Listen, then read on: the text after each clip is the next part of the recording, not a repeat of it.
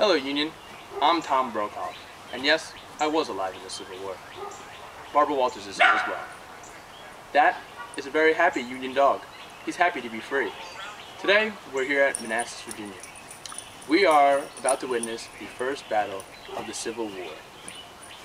We'd like you to bring you some battle footage as I contain my animal. Let's take a look.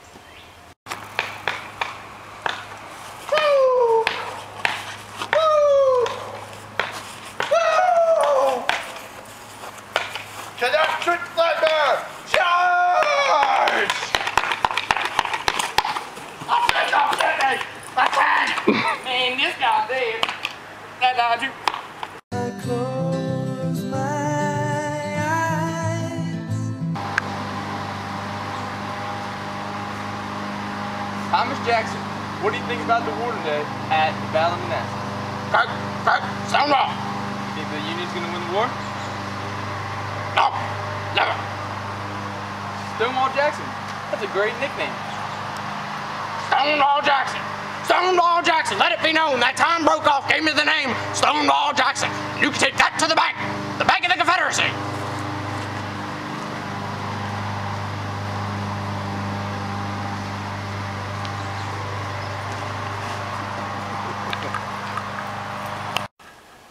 Hello, Union. That was some gruesome footage of the Battle of Manassas. Next, I'd like to take you to a field that is very peaceful at the moment. This field is Gettysburg, Pennsylvania. Soon, there's about to be a great, great war here. Seems like it could be the Battle of the Civil War. Many will be killed here, and as you can see, this peaceful hill here will soon be covered with blood. God knows where Barbara Walters is, is at the moment, but I hope she is safe. Why am I still alive? Why am I still alive? I'll keep you alive, man. I only got shot. Don't go towards the light. I was already in the other battle. I got this pop gun to protect. Ah! Sweet home Alabama. My fellow Confederates, it is my fault. It ain't your fault, man. No, you're not your fault. It ain't your fault? I'm not talking. your fault. I'm not talking about the war. I just farted up here and it smells.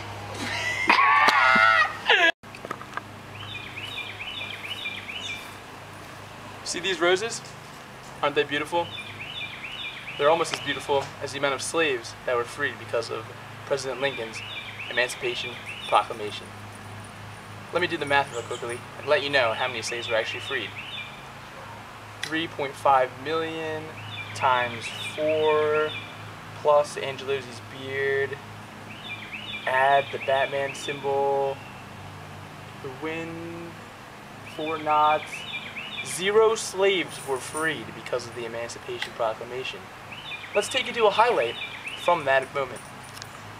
Alright, today we have some fantastic piece of footage from how Abraham Lincoln gets ready for his speeches. Let's go take a listen in. Uppercuts, uppercuts, uppercuts, uppercuts, uppercuts. All right, back up, back up. Look how majestic he is. Right, left, right. Where's my masseuse? I know. We haven't seen Barbara Walters in days. Why don't you give me a massage? Uh... Stonewall Jackson. Hello there. Sorry, this podium's too small for me. That on this first day of January, in our Lord, 1,863, all persons held as slaves within any state or designated part of a state. Has anyone seen my baby? It was clip on anyway. The people whereof shall be in the rebellion against the United States shall be then, thenceforward, and forever free. And the executive government of the United States, including the military and naval authorities thereof, will recognize this, maintain the freedom of such people. Stop it, man.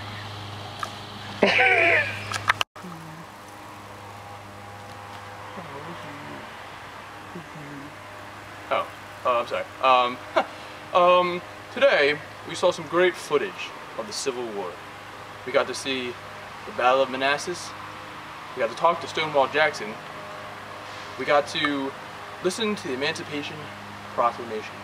And we got to see the Battle of Gettysburg. I found my dog. She's quiet now. What a beautiful animal. Nice and free. Like the slave should be. Barbara Walters is still missing. But something tells me we'll see her in the future. Maybe on a show called The View, where women actually have an opinion. No, that could never happen. That would never, ever, ever happen. No, right? You're so beautiful, so pretty.